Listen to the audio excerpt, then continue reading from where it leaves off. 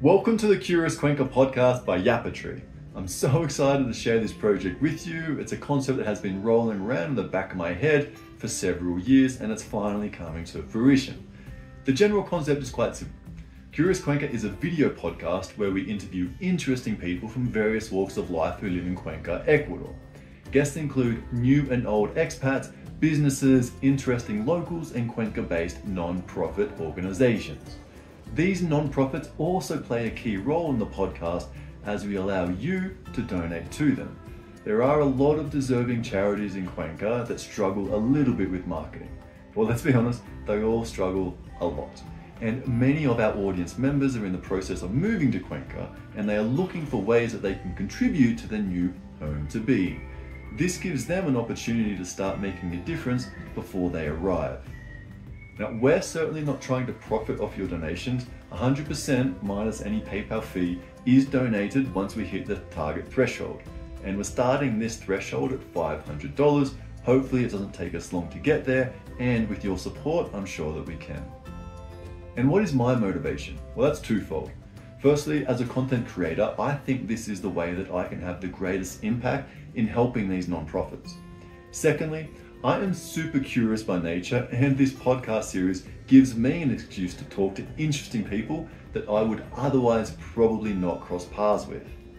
You could say that this podcast series is the next iteration in my Cuenca journey. It represents a substantial change for me, and I have to say, I've gone through a bunch of different changes since being in Ecuador, and in particular, Cuenca. Which brings us to today's topic reinventing yourself in Cuenca. It brings me great pleasure to welcome the very first guest of the Curious Cuenca podcast, Jeff Schinsky. You may know Jeff from his Facebook group, Expats Without Agendas, or from playing in his band Northern Roots, or from one of the other myriad of activities that Jeff seems to have taken up throughout his retirement in Cuenca.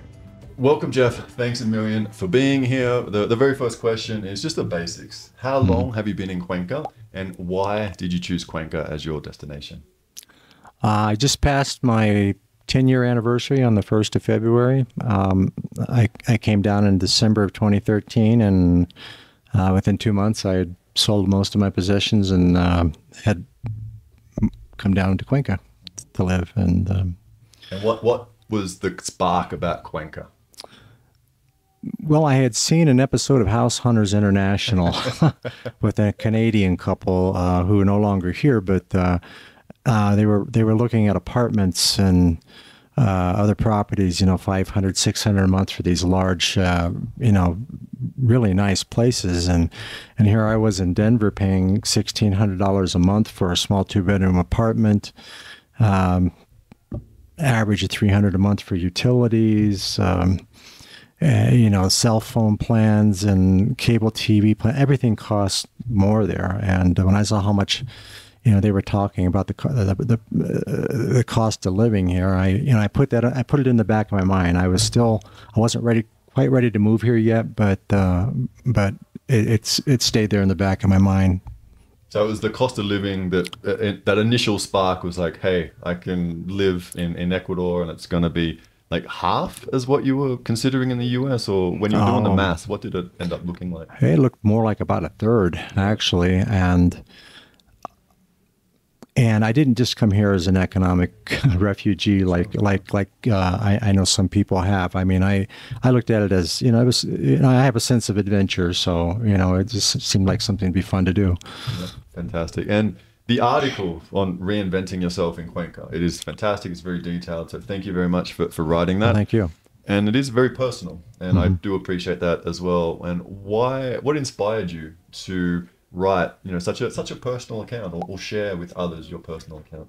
Well, the main thing is that my life has changed so much from what it used to be before I came here. I was I was very much an anonymous person that pretty much kept to myself. Uh, I'm a, I'm a hardcore, you know, almost off the scales introvert. So, um, but my life here has changed so much. It's opened up in so many different ways, and I've gotten into other activities, met so many other people. Uh, have you know, learning the language here, uh, uh, getting involved in, in so many of the things that I have. I, I just wanted to show people that there were options here. Uh, Cuenca is a good place to get out and do things and find things to do. Um, you know, whether it's at uh, at Idiomart taking a class on uh, you know watercolor or or, or or whatever it is, there's so much that, that people can do here, and I just kind of wanted to to share that. I I mean, I went from some someone who was uh, who did almost nothing outside the house to um, uh, someone who's branched out in a lot of different ways. And I just wanted to share that with people and let them know that was a possibility. I think it is a great testament to the, the possibilities out there. And this theme is something that I personally come across all the time. You know, every expat that comes here, they're like, how am I going to spend my time? Well, of course, you can spend it however you've been spending it in the States, but this is a really good time to, to actually think how, what do you want your, your life to be? And mm-hmm. so I think for me, that's probably one of the main messages is, yeah, you can effectively come to Cuenca, embrace the change and there's a lot of opportunities that are available to you. Exactly. But I think the point is they're not going to chase you. No. And and this is something that, that you um, I mentioned in the article is that you had to put yourself out there, and especially as as an introvert, I, I imagine that was actually quite difficult to, to put yourself out there, especially those initial steps. Can you can you walk me through some of those initial steps that helped get yourself out there? Well, one was um, I'm I'm not very good with boredom, uh, so uh, as I didn't speak Spanish yet at the time, at least I mean I speak a few words, but a few, a few phrases, but but essentially, uh, and I was alone. I came here by myself, and um, I started feeling kind of isolated. So I started looking for things to do, and that just kind of naturally led to you know picking up one hobby, then another hobby uh, you know, some of those hobbies became permanent passions. Some of them became, you know, just something that I did temporary. I enjoyed it for a while and then I moved on. So you just didn't want to sit inside watching TV all day. And I know that's tempting for, for some expats because it's mm-hmm. the easy option. Mm-hmm. Um, and so moving along to some of the, the more cultural side of things and a lot of expats, especially, you know, our office, this studio, it's in El Centro. It, it has the romantic feel. And everyone that comes to, to Cuenca, I think it's fair to say that one of the initial – attractions is the, the cultural diversity. Mm-hmm. And, and my question to you is how has that helped to, to reshape the, the identity that you now have in Cuenca, the, the cultural experiences that you've had here? Well, I, I, I, have lived abroad before. I, I, spent 20 years in the U.S. Air Force and lived in uh, two other countries. Um, fortunately, people there spoke English, so I didn't have to learn another language. But um, um, but yeah, having you know having to learn the language here. Well, I didn't. I didn't have to. You know, it's you know a lot of people don't. but but you felt you you needed to. Yeah, I, I feel like if you're going to live in another country, it's if if you really want to experience to experience it to its fullest, you need to be able to communicate with the people around you. And you know, I didn't want to rely on on facilitators and other translators for everything I do, and so you mentioned in, in the in the article uh, about basically uh, becoming part of an Ecuadorian family, mm-hmm. and I can definitely relate to that. And there is a there's a lot of learnings. It's not always easy, but it is it does add, add a, a, whole different dimension to, to the time mm-hmm. here. And so I would love if you can just walk me through some of the, the joys, but also some of the challenges on the other side that you have personally experienced from this. Yeah. Well, one of the immediate challenges was being able to understand all the slang that my three uh, my three new daughters spoke. Uh, I still have I still have problems sometimes understand people under thirty here. Yeah, they're but, uh, Yes. Yep. Well, uh, my wife is originally from Portoviejo, and uh, and to uh, is that coastal, you know, slang and stuff like that present in, in your wife? Uh, after she speaks to her mother or sister on the phones, uh, the the Manaba in, in, her comes out, and she starts speaking what I call Chino, and and so I have to remind her to you know, to switch back to. She's lived in Cuenca for for well over twenty years, so she can she she can speak either uh, coastal or Sierra Spanish, uh, and um, but. Um, uh, some of the other challenges were, um, I mean, they just do things a lot differently. There's a lot of uh, and, and and not not necessarily in a bad way. I mean, there's a big focus on family and friends, and um, and I've learned a lot from them. Like uh, like for instance, in the U.S., you don't walk into a bank uh, or walk out of a bank and say thank you to the security guard holding holding a shotgun. But uh, when I noticed that my wife was, you know, she she say hello and goodbye and thank you to everybody, and and I didn't really realize how important that was here.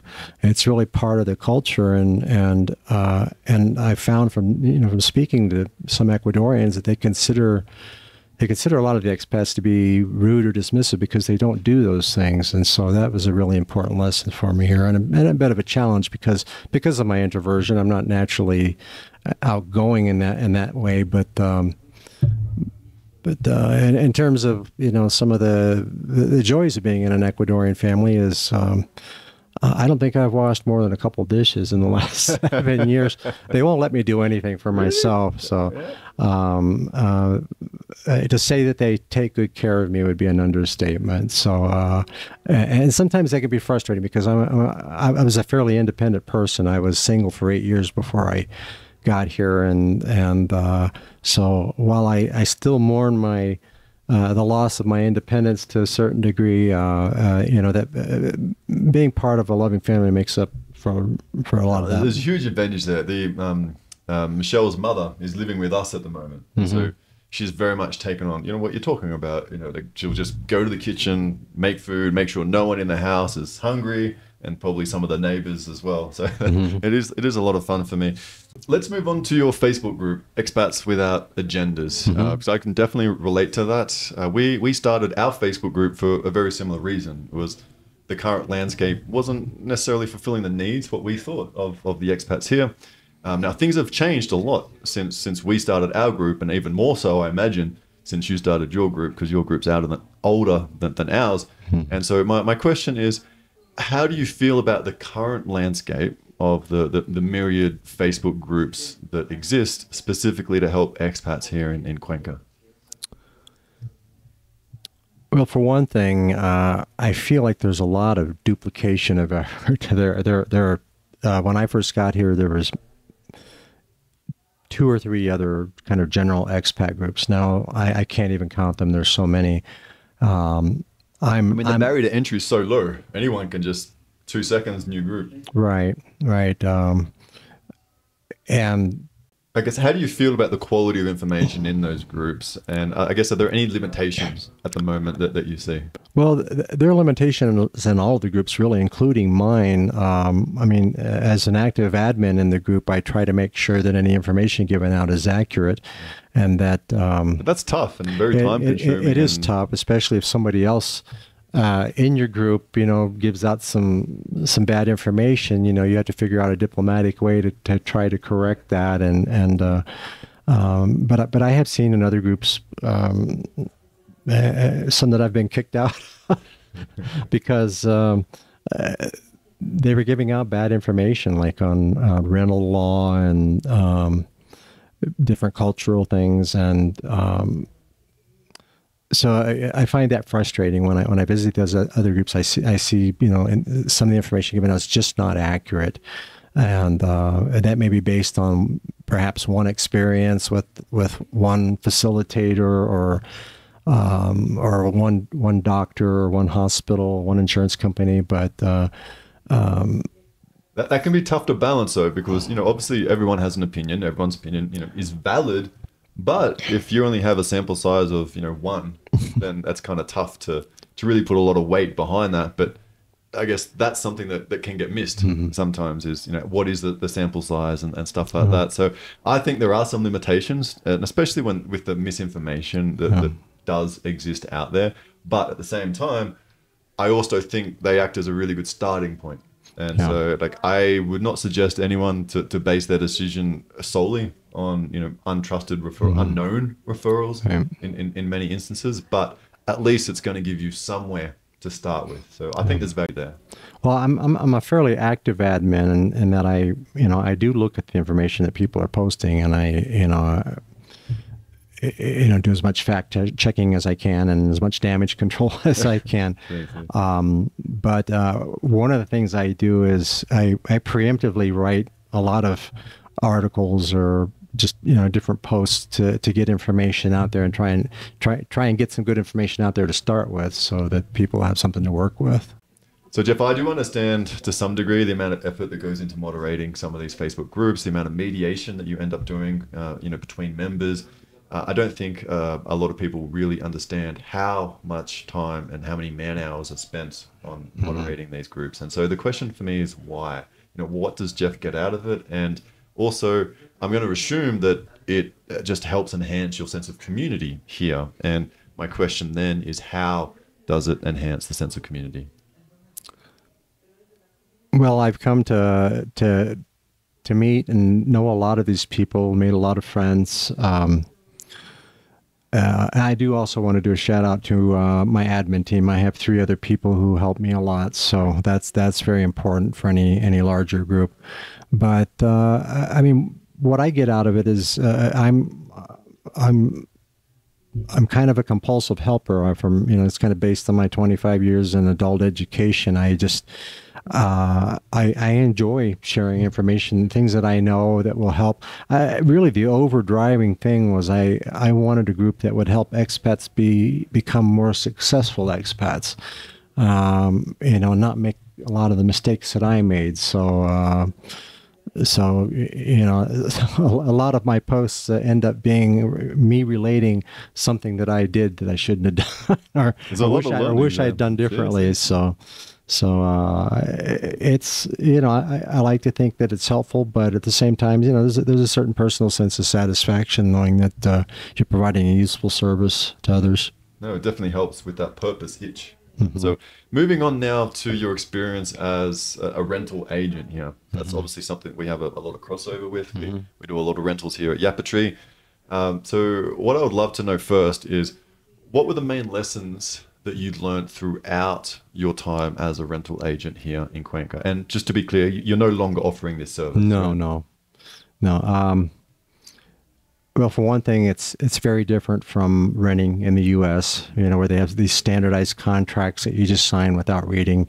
Here, you really have to read the lease. Uh, um, uh, one thing I found out was that most of the time, when a rental agent is working for the owner, the the agent supplies the lease and um, um, I've spent a lot of my time rewriting leases and, and making them fair to, to both parties. But uh, and actually, one of the things that I uh, this is kind of a maxim of mine. It's not hundred percent true, but but uh, I like to think that there are no bad landlords, just bad leases.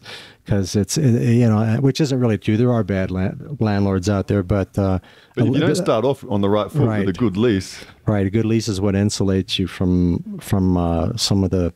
It's some, some of the, one of our big learnings is expectation setting is probably the most important part of mm. where a lot of agents just don't do a particularly good job with yeah. the with the tenants and and with the landlords too. Mm-hmm. Um, that's the other side of the equation that a lot of expats don't necessarily see um, but it's it's not necessarily easy on the landlord side because they have their expectations as well, mm-hmm. and so you're really trying to to manage those.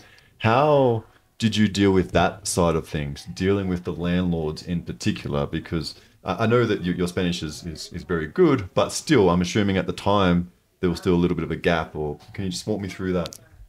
Well, my Spanish is fair. it's it's decent. Anyway, um, uh, well, it was a gringo working with a Venezuelan partner. Um, and you know the Venezuelans have a bit of a challenge here being accepted by by the local people, and so you can imagine you know a gringo and a Venezuelano showing up at your door and say, "Do you mind if we list your house?" I think it's with a, a Colombian as well. And, yeah, they're not immune uh, from the same challenges sometimes. Yes, uh, that that was more of a part time thing, but my regular partner was was, was Venezuelan, and uh, one time we actually got run off the property by an old man who oh, didn't wow. like expats or or Venezuelans. I mean, he he literally run us off the property. and said, "Don't come back," you know. So, but um, but in general, did you find landlords were, workable, or did you just find that there was some certain key challenges that just kept coming up and up? Well, uh, of, of course, they they're not always keen on paying a commission for uh, for the help, but but but a lot of them do realize the value of having someone promoting their property, and uh, and are more than happy to do that. So, um, uh, I mean, the biggest challenge really was was just finding the properties to list and and um, and uh, very very manual right? Right. Is that your experiences as well? Yes, very manual. Spent a lot of a lot of a lot of time uh, driving around, walking around, looking for properties. Um, so yeah, it was it, was it was pretty time labor intensive. Yeah, absolutely. We, we call it pounding the pavement, and right. it, it really is.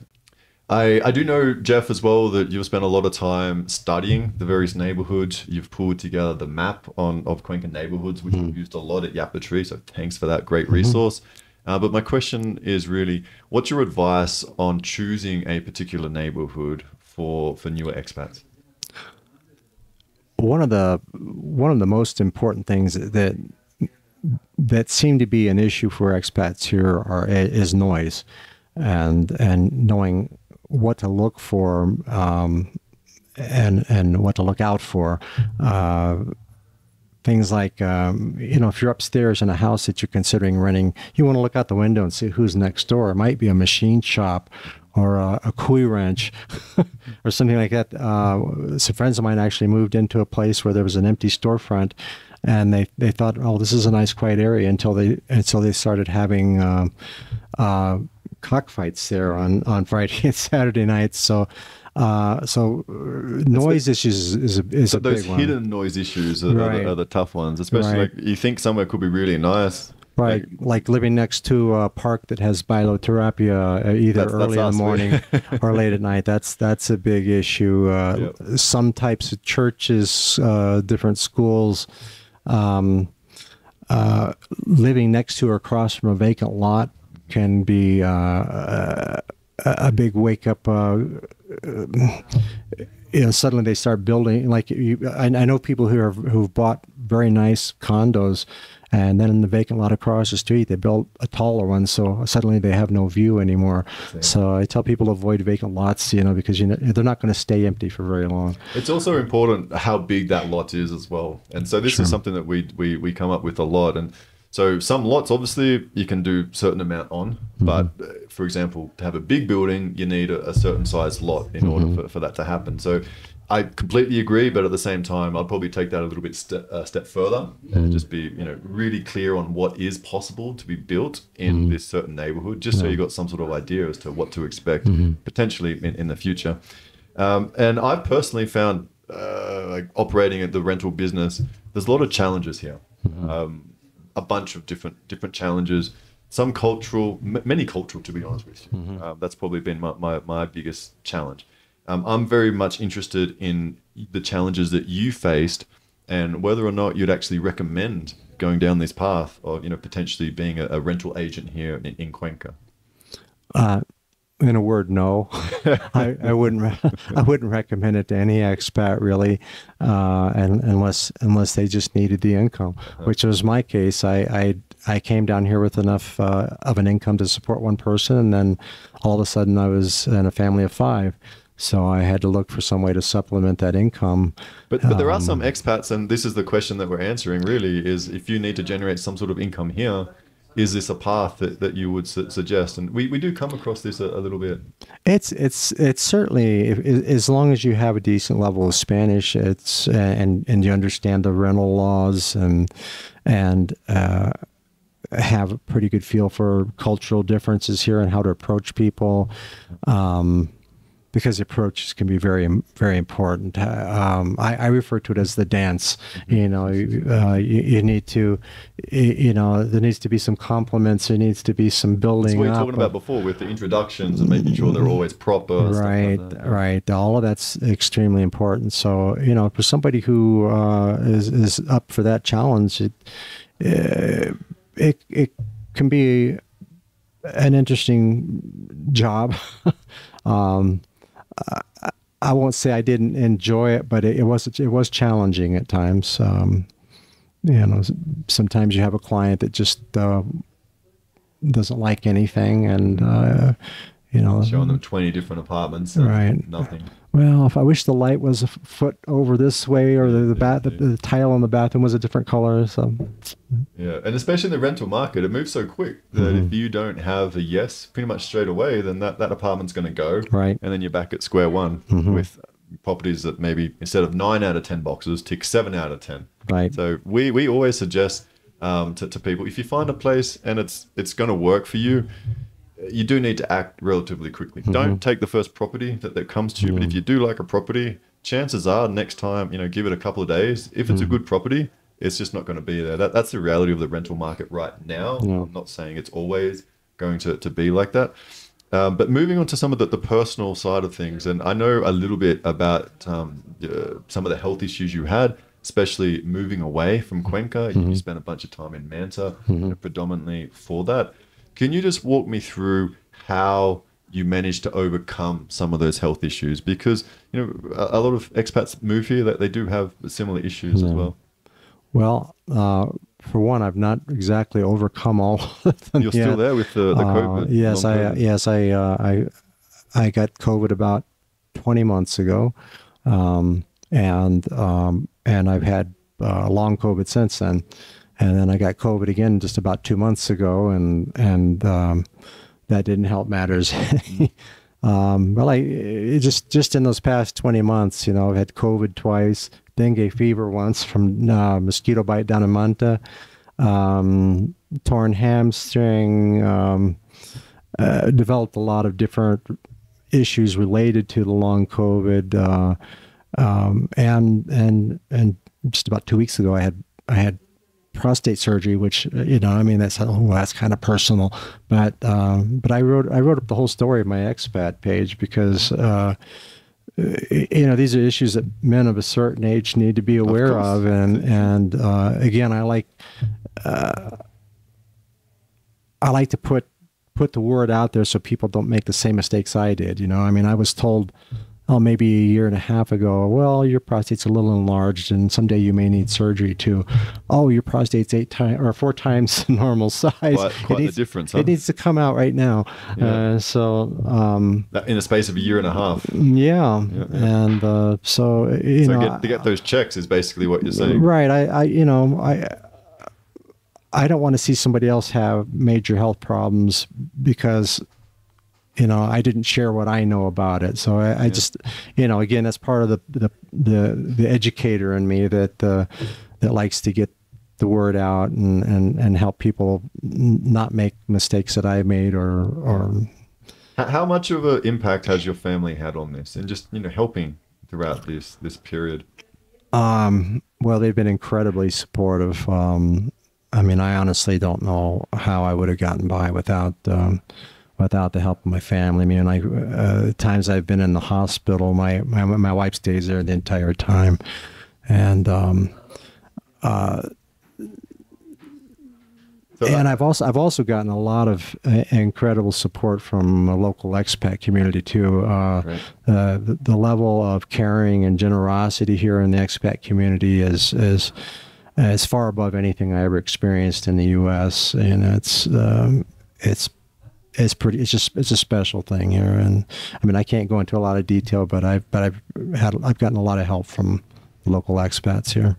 Awesome. And in, in just in terms of the the integration side of things, how exactly how important do you think learning the Spanish is? Like, do you think it's possible to properly integrate, um, especially culturally, if uh, you come here and you know you, you basically have Spanish light, or you know you're basically making an active decision not to learn Spanish?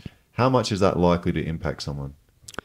Well, the, the example I always give is, you know, what if you're at the mall and you collapse and you can't tell the people standing around you, uh, my heart pills are in my backpack, you know, or or I'm diabetic and, and I need I need some glucose, or uh, um, that's actually something I experienced at Supermaxi once. A woman had uh, an expat woman had collapsed, and there were like 20 people around her trying to help her and figure out what was wrong, and and they were all saying, well, I think it's this or I think it's that, and I, I came up there and she says she says I'm diabetic and I you know I my, my glucose went too low and I just collapsed and so and I was able to help in that situation. But it's it's that's more like so. You're basically saying like not yeah. Obviously, it's going to enhance your life, but it can also if, if you don't even have know the basics, it can actually be quite detrimental and, and really quite dangerous in certain circumstances. Right, right. Um, but in terms of enhancing your life, I, I mean, just just one. Uh, I, I, mean, it, it, seems like a tiny thing, but I used to go to this one shop to buy printer cartridges when I first got here,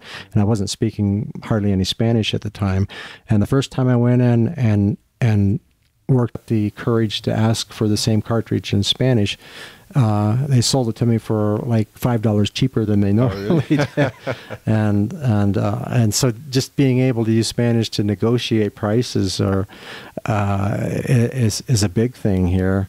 Um, getting, to, I mean, it's, I mean,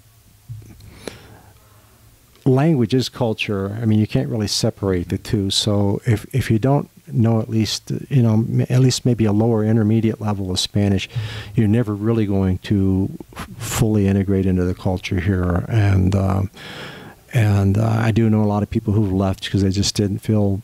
Uh, like they just couldn't get over that yeah, they, hurdle. Right, they just they just didn't feel like they fit in. Yeah. So yeah, yeah, well, that's interesting. So yeah, we don't want to beat down like you have to learn Spanish and, and everything. Everyone's free to make their own decisions, but I do think it's good to know that this is the, the likelihood you're only going to get so far if you are actively making that decision not, right. not to learn Spanish. Yeah, whether, whether to learn or not, that again, uh, you know, it is, it is a, it's a personal decision, and you know, and those who you know, there, there, are a lot of people believe they're too old to learn, which, uh, you know, I, I, I, know that's not necessarily true. Not true, but it, it, uh, does get it, harder. It, has, right? it does, it does get harder as you get older.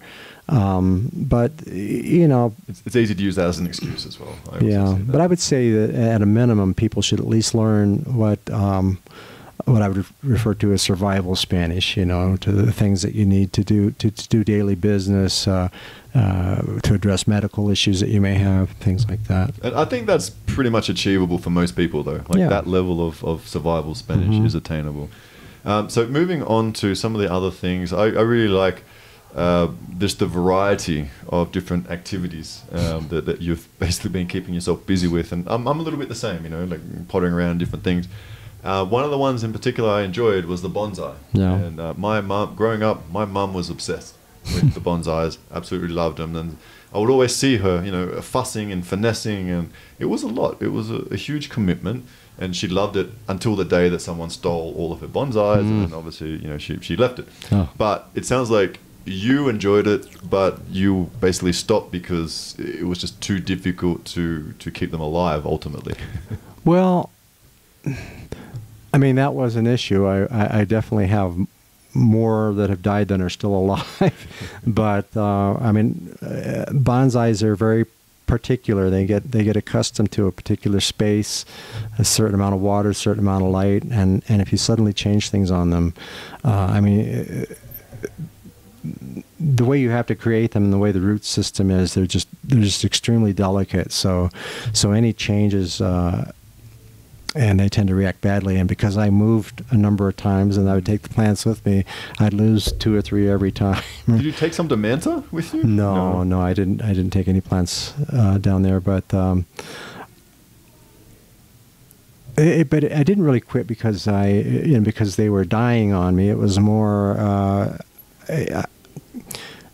it had kind of run its course. I wanted to move on to different things, but there was also the issue of, of the pricing of the plants. Uh, you used to be able to go to a nursery and you pick up a small plant that looks like, yeah, that's got bonsai potential, and it costs two or three dollars, and uh-huh. and then then suddenly all the nurseries caught on, and and now those same plants were costing ten and twelve dollars, and um, so so I I just got to the point where it, it, it you didn't want to pay four times what no, you were paying No, and, and, and again, I was ready to move on to other yeah, things. I had I, I, was right about the time that uh, I got married and had a new family, so um, I had to start focusing on other things. Have you visited the Nayón neighborhood in Quito, just outside of Quito? No, I haven't. Ne- next time you go to Quito, check it out. I know you're not really into bonsais anymore, but I'm oh. sure you'll appreciate the variety and, and the, the prices there too there's some really really quality prices. Yeah. We we go there quite a bit every time we're in Quito. Yeah, there's a, there's actually a place on Diez de Agosto close to Etapa that uh, it's a it's a bonsai shop. They have a lot of bonsais there for sale, and the prices are, are, are fairly decent. And they have a lot of supplies for people who want to get into that hobby. So Yep. There is a little bonsai club here, I believe, but I think it's Oh, only in Spanish. Do you know of any? I, I I've heard of it. I and I know that they've had some big shows and things here, but I I never attended any of them.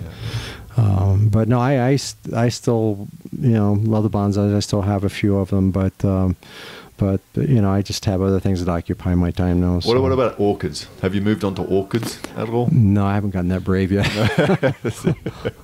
No, I'm, I'm, I'm the I love them though. I mean, you know, that's you know, I've been to that shop down by Gualaceo where where they have all the orchids. It's they're, they're beautiful. Go check out um, Uzhupud Gardens. So though the same owners from Mm. Ecuador they're now owning Uzhupud Gardens, and so there's just orchids everywhere there. It is Mm. it is amazing, and it's Mhm. great to see what the possibilities are. Of course, when we take those plants home, Mhm. they, they, they don't tend to survive as, as long or thrive in the same way. But that's a challenge that we're working on too. Yeah. One of the other things that I really enjoyed uh, was uh, you have this mentality of fixing as opposed to throwing away and buying new, and that's that very much fits with the, the Cuencano way of life, and, and I, I really like that. Um, how what what got you into that, and I guess why do you continue to, to do that? Because uh, I know we don't have Amazon here now, but it's got a lot easier to, Mhm. to, to purchase a, lot of the, the little creature comforts that you may like. hmm Well, I mean, one was just seeing how how they do it here. I mean, you go into Supermaxi and Corral, and there's a whole aisle of of blender parts, you know, and and if, and if you walk around El Centro, there's shops to fix pretty much anything, or you go to La Rapida with a pair of old beaten up. Uh, practically destroyed uh, uh, running shoes, and they can they can make them almost new again. Uh, so that was that was kind of partly my inspiration, and then the rest of it was just necessity. Um, uh, you know, when I'm back in the States, I go to Home Depot or Lowe's and I go through those gray metal drawers where they have all the tiny bits of specialized hardware that you can't find here, and I bring a lot of that back with me so I can use it for different projects or re- repairing different things. But, um, you know, and the, the quality of, of goods here is not that great. Uh, a lot of them are imported from places where quality is not all that important. Um, you know, mic- microphone stands, for instance. I, I can't tell you how many microphone stands I've prepared for my, either for myself or for other people, um, because they, they, they they tend to last about three months and then they fall apart. Yeah. So, um, but. Uh, yeah, I mean, there's a certain level of satisfaction taking something that's Yeah, well, broken and what's giving you the most satisfaction? Is there you know one little project or you know one repair job that, that you've done that you're like, wow, I've, I've surprised myself here. Well, pretty much all of them, I would say. I've been, you know, they, it's it's always a huge sense of satisfaction to say, uh, you know, to take something that's not functional and making it functional again, and um, yeah, it's just that's just something I've always uh, enjoyed. But I, I I never did it anywhere near the level. You know, like like the little ten dollar shopping carts you buy at Corral, the wheels fall off of those after a couple months. But I I found a way to fix those, and you know, it's it's yeah, it's just personally satisfying being able to, to do that. What about your walking sticks? Are you still manufacturing those or Uh, those? no, that was that was kind of a passing fancy too. I, I did those for a while and uh, and uh, sold some, still have some, but uh, um, you know when I when I go hiking, I, I I need one as like a third leg to help me keep my balance and keep me from falling down the hill. But that, you know that was. That was that was fun while it lasted, but it was you know again I, I decided just to move on to other things. So. Awesome. And just moving on a little bit. So uh, I don't want to beat the introvert thing to death, but that is a, is a key challenge. And my, my question really is you've you started off as an introvert. I mean, you're still an introverted person, but you were very much guarded towards keeping your anonymity at one Mhm. point. But now you basically have seemed to say, you know, let the floodgates open. Yeah. And I guess what change internally ha- has occurred throughout that process? Like, how do you now perceive yourself now that you're, I guess, less anonymous? Well, the anonymity thing was wasn't really so much of a choice as just kind of a, a natural. Um, a natural aspect of being being an introvert, uh, and, and, it's not that we don't like people. We're just a little more selective about people that we decide to hang out with, and and and we we, we have difficulty um, maintaining too many connections at once. So, so we tend to keep our circle of friends, you know, close friends, I should say, small. I mean, I have I have I have a lot of friends here, but but uh, you know, in terms of really close friends, you know, that that's that's a fairly small circle. But uh, I wouldn't say that. Um, my introversion has really changed here. I'm I'm still the same person, but I, I, one thing I do to, to, cope is I compartmentalize. Like, for instance, if I'm at trivia and there's uh, common grounds, um, you know, there may be 60 or 70 other people in the room, but uh, I'm only focused on the three other people on my team. You know, everything else is just kind of background noise. So, um, is that the same when you're performing in the band? Exa- that, that, seems to be the next level in, in terms of a challenge. Exactly. Uh, I, I I tend to uh, you know I'm focusing on the band, focusing on the music. Uh, I mean, I'm aware there's an audience there, and I do get uh, pre-show jitters like anybody else, but.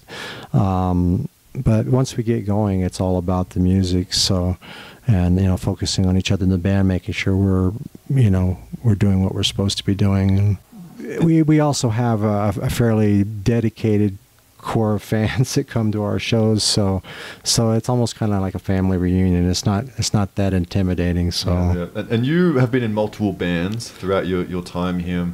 How has that whole process, you know, being in, in different bands?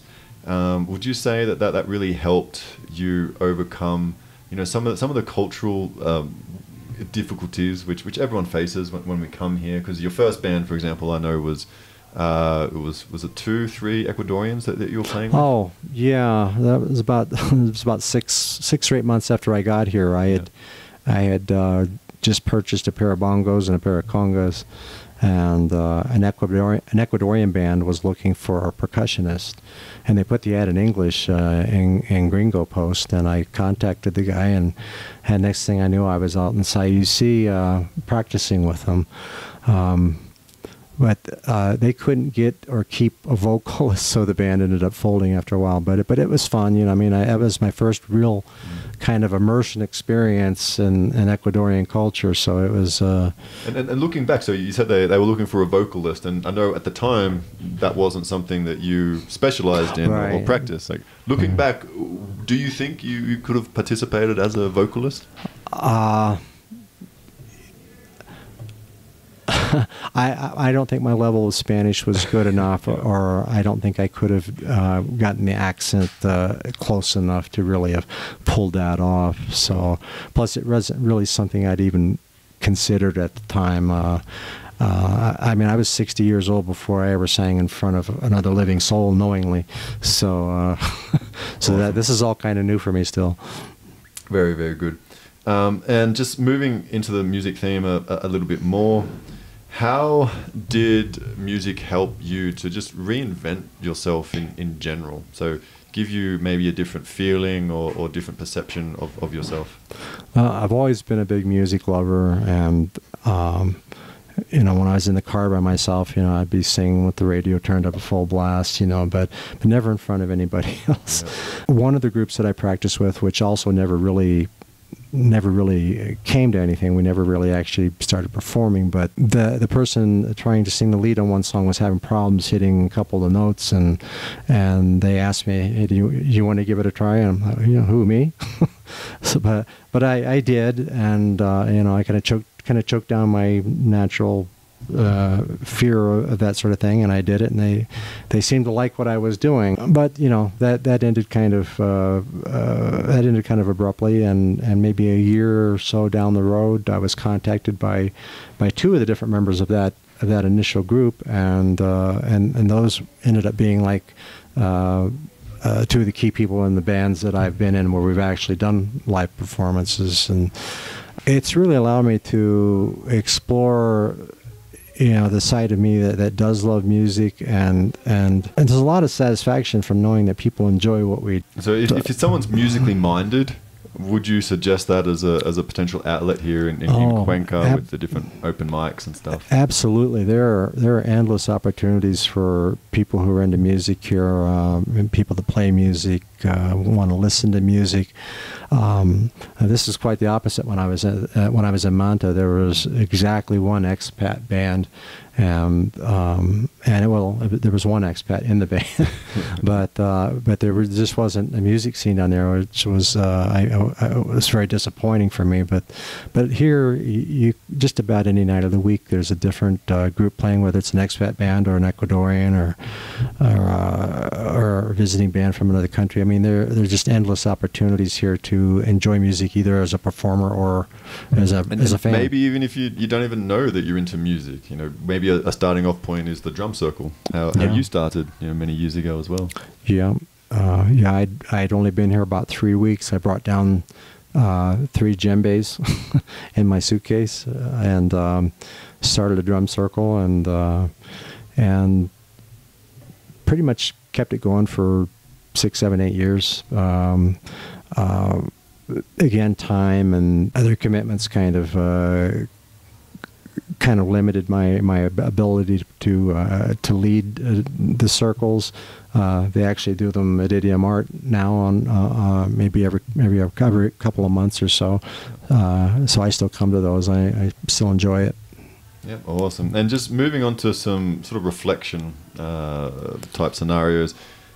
So you've been in Ecuador for quite a while now. How has your general perception of, of Ecuador changed this time, especially at the moment?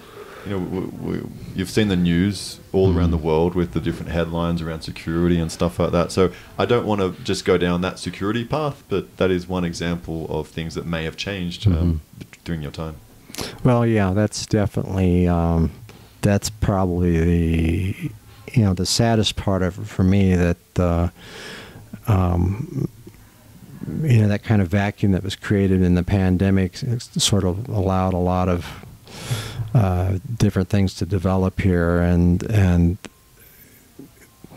you know increased crime levels and um, you know gang violence, especially on the on the coast. And I mean, I still consider Cuenca a fairly safe city, but I but I'm definitely a lot more careful when I'm you know I, I don't hesitate to walk wherever I want to walk, but but. Uh, I'm, I'm a lot more cautious than I used to be. I mean, uh, Cuenca was a very innocent city when I first got here 10 years ago, and now not so much. Um, but um, but I still love it here. Uh, it's I mean it's, it's an amazingly beautiful country. Um, um, you know, biologically and and uh, diverse, and the plants and everything. And I mean, there's still a lot of it I've not seen yet, but. But but yeah, I, I still love Ecuador. Um, I'm and I still have you know I'm I'm I'm kind of an, the eternal optimist, so I keep hoping that things are going to reverse and be like they were, and you know, knock on wood. Sure, sure. And so obviously, you know, you're not going anywhere, but were there any times where you did consider leaving? And what sort of, uh, what was driving that? Well, one of the things that I think a lot of expats struggle with here is uh, missing their family members in the U.S. I mean, I, I have I have four children, ten grandchildren in the U.S., and uh, there's always a bit of uh, you know, there's always a sort of tinge of uh, of guilt about not being there for them all the time. I mean, I, I I try to communicate with them as much as I can and try to get back as often as I can, but that's uh, uh, that's the one thing that's made me, you know, think about maybe maybe I should think about moving back. But you know, I've uh, one of my daughters and uh, well, my daughter and one of my sons have been down here to visit, and they understand completely after seeing my life here how much different it is, how much I've grown. Um, uh, how much it's just done for me personally uh, in so many ways. They're, they're like all for it now. They say, "You stay there." That's great. That's great that they're supportive. Yeah. Do, do they visit by chance? Uh, well, my youngest son's been here once, and my daughter's been here twice, uh, and they'd both live here if they could. Uh, but uh, work situation makes it, work- and family situations make it difficult. So, No, absolutely. But I also, I- I've heard from uh, several expats that uh, have basically said the same thing that yeah, they miss their, their grandkids in particular. Um, but uh, kind of funny in a way, but they, they would go back, you know, make the effort, move back to, to the States to be closer to the grandkids. But then the grandkids basically give some sort of response like, you're smothering me. You know, like, I, I love you and I love spending time with you, but, you know, maybe holidays uh, are sort of where it's at. And so some Right. expats have actually come back after that because they're a little bit disappointed with that. Have you experienced anything li- like that or no, not yet? Well, I mean, I actually experienced that before I moved here. I mean, um, all of my children are grown and have children, you know, grown children of their of their own, and and just finding time to get together with them all. Uh, I mean, it's it's like you said, uh, you know, holidays, uh, special events, uh, you know, summer picnic, something like that. Uh, other than that, you know, they you know they have lives of their own, so it's just not always easy to get together. So I, I probably see them almost as much from here as I did when I lived there. yeah, yeah, very good. And like looking back, is there some aspect of you know, let's call it this transformation, that the reinvention, that that really surprised you? probably mostly mostly the uh, the music aspect. Uh, I mean, I never in, in a million years would have imagined myself being part of a band, uh, let alone actually singing lead vocals on different songs and things like that. I mean, just uh, it it still kind of blows my mind that I I've gotten to that point because uh, it's just something I never would have considered. Uh, I had a bad experience with a with a junior high school music teacher where he put me on the spot, and and that just kind of shot my uh, any desire I ever had to uh, to be openly musical in front of other people. So, um, but but yeah, that's that's one of the things that's really surprised me, and uh, and it, yeah, it's become a passion of mine. That's that's really kind of one of my my my main focus these days is focusing on music. And Jeff, if there was one piece of advice that you could give to your younger self before you've moved to Ecuador, what would that be? It would be to not wait to the, you know, if if, if you have the means, and um, and you're able to get away, come here as soon as you can because. Uh, uh, you know, I was able to come here at age about 56, 57 because I had a military retirement and that just barely covered the minimum pension requirements. So, um, but um, uh, I, I, you know, I, I've, I've heard this from a bunch of expats, but you know, eh, working is for suckers. so if if you come down here and start enjoying your retirement at a, retirement at an earlier age, uh, I highly recommend that. And that's uh, that's what I, I probably would have been here a few years earlier if if I um, if somebody had given me that advice. Just giving you a bit of a nudge a few years beforehand. So you know that's that's really good, especially if you're saying you know your effective cost of living is a third. Oh yeah. That that that really means that you, you, you can retire early under most circumstances. So that's that's really good advice. And the, the very last question is just uh, looking forward. What what what challenges um, lie ahead for you, and, and what goals do you still want to achieve here in, in Cuenca and, and Ecuador in general? Well, some of the challenges uh, was as I already related. I've had I've had a I've had a string of health challenges. I, um, uh, again, it's a good thing I'm an optimist because you know I I keep you know I, I believe things will will continue to get better. But uh, and regarding some of my future goals, uh, well, I've um, again with the, with the music. Um, I wasn't satisfied just doing percussion and vocals. I decided, uh, especially when when the lockdown, when the COVID lockdown hit, uh, I I managed to get my hands on an old guitar and started uh, using YouTube uh, videos to try and teach myself. And I'm not very good, but I, I but I'm I'm getting better. Uh, my goal is to eventually get to a point where I can, you know, accompany myself and maybe do some open mics or, yeah, it'll it'll broaden my opportunities in terms of, uh, you know, staying involved with the music scene here. And I, I I've since bought a a mandolin and a ukulele and uh, and some harmonicas. So now I. Um, I, I, I play poorly on a number of, of instruments, but uh, but I keep working on them and, uh, it sounds like music brings you the most joy at Oh, this yeah. stage of your life. Yeah. So you're going to explore that more by the sounds of it. Yeah, it's definitely a passion of mine, one that I uh, intend to keep pursuing. as long as I can. Awesome, Jeff. Well, thank you very much for your time today. I've got a lot of value out of our chat, and I'm sure our audience has as well. Uh, but if someone wants to get in touch with you, what's the best way for, for them to do that? Through your Facebook group or, or something else? Yeah, probably through uh, my Facebook book, book uh, Facebook group, the Expats Without Agendas. Uh, they can message message me there, or um, um, or if they have my phone number, they can WhatsApp me. Awesome. Jeff. um, Thank you very much for your time today. oh, thank you for having me. Super. And remember, if you do want to make a donation to one of Cuenca's deserving nonprofits, feel free to do so on our website. I'll provide the link in the description. You likely already know that YapaTree has a very active real estate business, so feel free to get in contact if you're in the market to rent or buy. And thanks a million for watching. We'd love to hear your thoughts on this new podcast format. Do feel free to email me, jason at yapatree.com. Ciao, ciao.